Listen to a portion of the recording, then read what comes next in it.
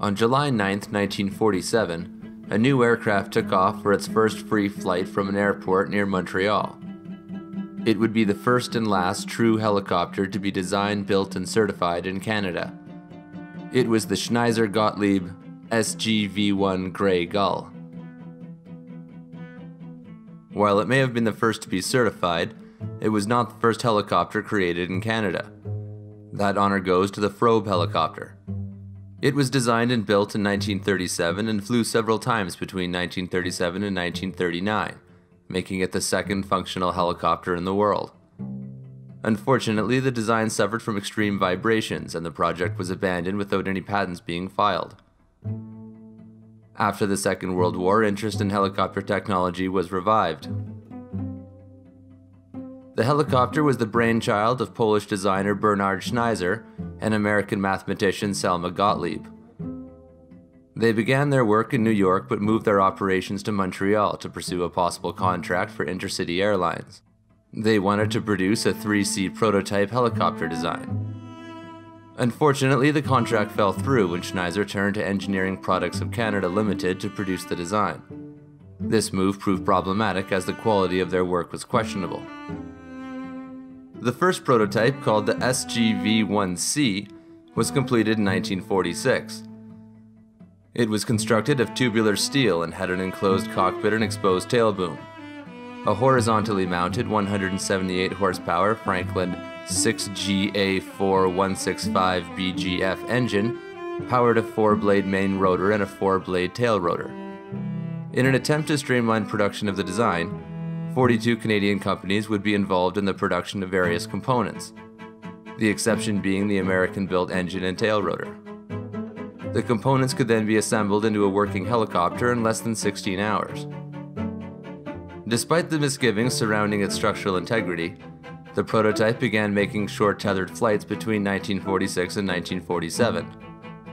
On July 9, 1947, the SGV 1 made its first untethered free flight with pilot Henry Eagle Jr. at the controls. He reported good handling qualities and vibration free control. Due to the lack of confidence in the construction of the first prototype, a second, called the SGV 1D Grey Gull, was ordered and its construction was supervised by the then re engaged Intercity Airlines. It had many improvements over the first, including the inclusion of a nose wheel and a lowered tail drive shaft. The second prototype first flew on February 6, 1948. The high cost of the project caused investors to lose confidence and funding became sporadic. By 1949, the post war economy was improving and further funds became available. Testing continued through the end of the year as refinements were made. By January 1951, Sznycer and Gottlieb were ready for federal type certification through the Department of Transport. On January 29th, a certification program was started on a cold and snowy aerodrome outside of Montreal. It was the first certification of its type in Canada, and so the American criteria was used and adapted to suit our more extreme conditions. Testing continued for five days and was carried out without any maintenance beyond greasing between flights. Once completed, the Grey Gull became the first civil helicopter ever certified in the British Commonwealth. Its performance, however, was underwhelming, even for its time. It had a low top speed and a weak range. The SGV 1D was then upgraded to the SGV 1E standard with the 200 horsepower Franklin 6A4200C6 engine. The helicopter performed well, but unfortunately, the Grey Gull would progress no further. Competition from other companies, including the American Bell, Hiller, and Sikorsky, persuaded investors away from the Canadian startup. Discouraged by the lack of interest in Canada, Bernard Sznycer sold the design to investors in the US and moved back to New York. There, he would produce the world's first certified twin engine civil helicopter, the Omega BS 12D. Although it was another successful design, it failed to attract any buyers and the project was abandoned in the early 1960s.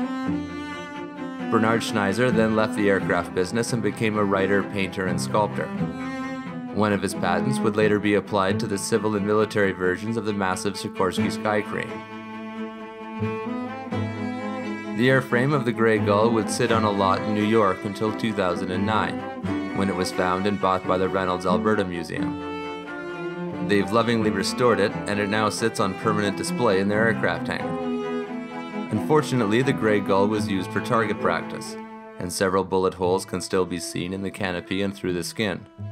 These scars were left as a reminder of the long journey this plane has made on its way home.